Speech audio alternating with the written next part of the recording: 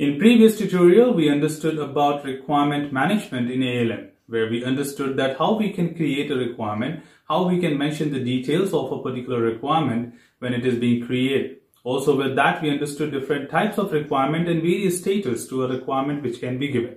Also some of the basic important things like how you can attach several information with respect to a requirement and what other necessary and mandatory fields are to be updated when creating or managing a requirement in ALM. In today's tutorial, we'll be working on some more options which were there on the toolbars beyond the basic understanding of requirement management in ALM. So let's understand more about the same today.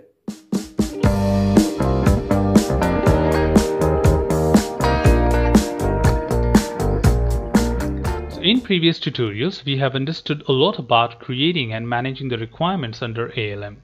In the previous tutorial, we accessed the requirement tab and we created these four requirements which are the functional requirements and also understood a lot of details which should be mentioned while creating the requirement. In order to modify and understand more beyond those management of the requirement, we do have a lot of interesting figures and facts about requirement management within ALM. So first of all, let's start with understanding how do I see the details of a requirement because on the canvas we only see the detail of like login name and the status and the requirement ID and even the author. But yes, we do have a lot of other details which are associated with a requirement and what else we can do as a part of requirement management. To start with, I have to look at the details or what if I want to modify the details of a particular requirement. Then you have to you can switch using the view option. And right now you are in a requirement tree view which basically shows the hierarchy of a requirement. And then you have a details view which will allow you to see the details of each and every requirement. So right on the right side you will have details of each requirement. You just have to select a requirement in order to see the respective details.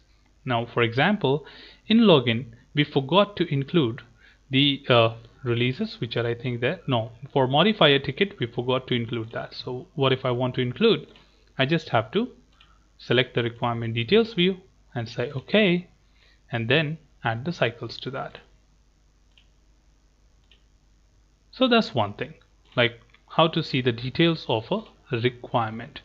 Now what if I want to update a requirement? So this is how you can fill in the details and just move. You do not have a save button in ALM everything gets saved as soon as you fill it and switch to the next option. So it's automatically saved. You don't have a save button in the ALM. The next thing important to understand is the third view which was listed here. So there is another view which is called as requirements grid. Requirement grids view allow you to list all the requirements aligned to the margin for quick access to the details and also allow you to update the status simultaneously for all the requirements. So if you have to manually update the status of each requirement, then using the details view will take a long time to switch between each requirement and then look at the details of it in order to update. But here it can just drop down from here and change the status and one by one you can go on moving to the next one. So each view of requirement has its own significance and we just need to understand what exactly and which can be used at the right point. Let's go back to the details view as we have got something more to explore there. Like remember when we were creating we had only details, rich text and attachments. But once we have created the requirement we got the linked defects, requirement traceability, test coverage, business model linkage, risk assessment and history. So as you see that ALM allows you to do all these sort of activities and even link all other entities which are created and associated with this requirement. You can very well do that. So tomorrow if you run a test related to this requirement and it has failed and got a defect there then the defect can be very well linked. But we will come back to this and understand better once we have a defect. Also to add a defect can be raised from any of the window in ALM I will tell this every time when I move to every module so you can just click on this button here and it says add a new defect. So you are allowed to create a new defect right here because during the review of a requirement you may find anomalies and you can log a defect here. But yes, we will talk about defects in more detail when we come to that tutorial. including the test coverage. When you create the test cases for this requirement, you can associate the test using the feature the test coverage. So this will build the traceability or in fact have a linkage model to tell which requirement is associated with which particular test case. Additionally, we do have business models which you see at the bottom here. So business models are the use case diagrams or the models which are created using UML, Unified Markup Language. Business model is only the option in ALM which is not created within ALM. For example, if I even create a new folder here, that is flight reservation, which is my project folder, and I try to create the next option, it says import model, not new model.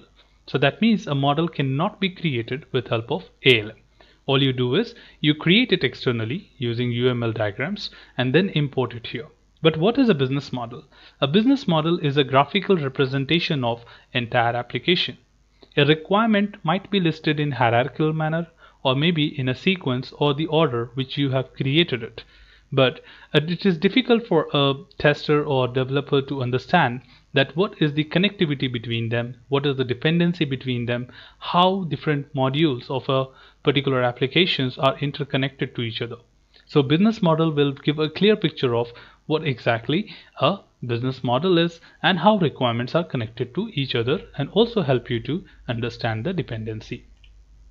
Additionally, if you switch back to the tree view, we have so many details about a requirement which we listed like priority, releases, targets and the review status but we don't see all of them.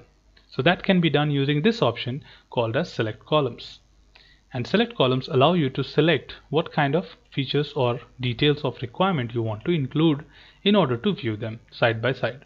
So if you scroll down here, you may have the requirement type as well. You may include the reviewed status and so on. If you want to switch them up and down, you can make use of this buttons here to reorder them and say OK. Anytime if you want to remove anything, you can still remove that. So you can see now all the details listed here. As you see, the requirement has folder types have no status. That means it is not applicable. If you want to move up any of the requirements here, you can do the same thing using these buttons here. Move up and move down. This is an auto mail option here. If you want to send an email to any of your team members about any kind of modification you would have done you can directly integrate to your email account and you can send a mail from here further you do have search options zoom in zoom out to see the details and a refresh button to anytime refresh to see the progress as multiple people working will be working on the same project they may have a lot of things to update and share so you use the refresh button to pick up the latest version of it if you want to delete a requirement, you can delete the requirement from here. You can also do a copy paste operation using the right click option. So you can copy the requirement and paste it in a different folder if in case you have created one.